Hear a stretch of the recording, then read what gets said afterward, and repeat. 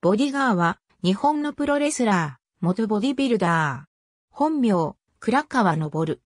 ボディビルダーがプロレスラーに転向した例はアメリカでスーパースタービリー・グラハムなどをはじめ多く見られるが、全日本ボディビル王者からのプロレスラー転向は初めてである。小学生時代からブルース・リーに憧れて自己流で体を鍛え始める。高校生時代にアーノルド・シュワルツェネッカーに衝撃を受けてトレーニングに熱を向ける。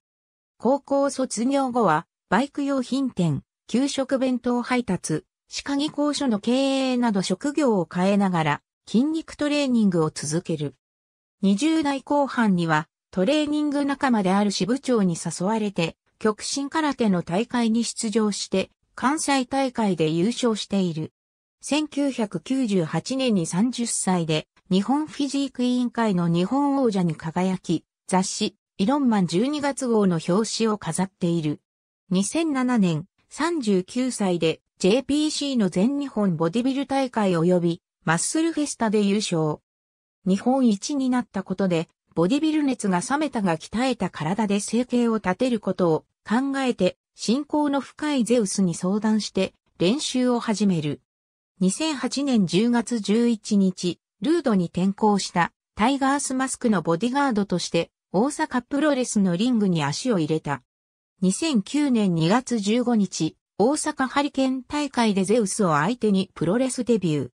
その後、ゼウスとのタッグチーム、ザ・ビッグガンズで活躍して2011年2月12日に大阪プロレスタッグ王座を獲得するなどしている。2011年4月30日、試合前の入場時のトラブルから右足を負傷するも、中断することなくそのまま試合を敢行した。試合後に、病院での診断では、右足首靭帯断裂と診断された。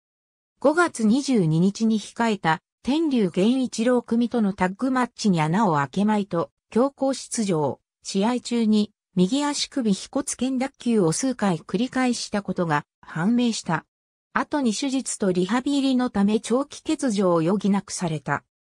2012年、復帰した若田カジェット新助と共にネパールへ遠征するなど意欲的に活動したが、続けざまに両膝の十字靭帯を断裂し再び長期欠場に入った。なお、マッチョ侍として大阪プロレスにもたびたび登場している。2013年3月24日、復帰戦が行われる。復帰後は日本人初のロシアヘビー級王者になった。6月23日にはゼウスとのタッグで大阪タッグフェスティバルに優勝。天皇山2013決勝ではパートナーのゼウスと一騎打ちを行うも敗北している。2014年4月20日、大阪プロレスを離脱すると同時にタッグ王座を返上。以後はフリーとして活動。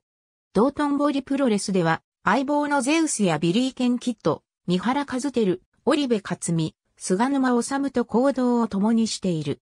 5月16日にはゼウスと共に全日本プロレスの世界タッグ王座に挑戦したが敗北した。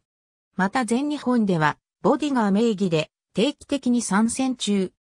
2015年12月23日、大阪府立体育会館第一競技場にて行われたレッスルドリームにて秋山仁志大森高尾組を撃破。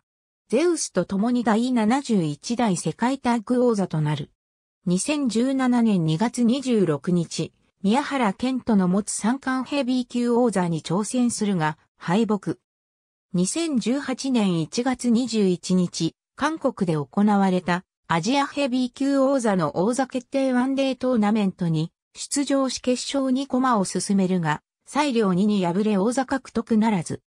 同年7月29日、地元大阪で3位を破りアジアヘビー級王座を獲得、50歳での体感となった。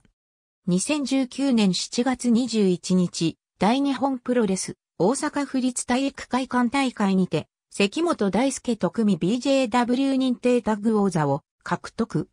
11月30日の全日本プロレス大阪大会において試合中に右足を負傷。右大腿四頭筋全断裂との診断が下り、翌日より長期欠場することになった。2020年11月、エディオンアリーナ大阪大会で復帰した。2021年から大阪のこれがプロレスに旗揚げからメインレギュラーとして参加。8月17日、ランズエンドの YouTube チャンネルにて、ボディガーの離脱が発表された。ありがとうございます。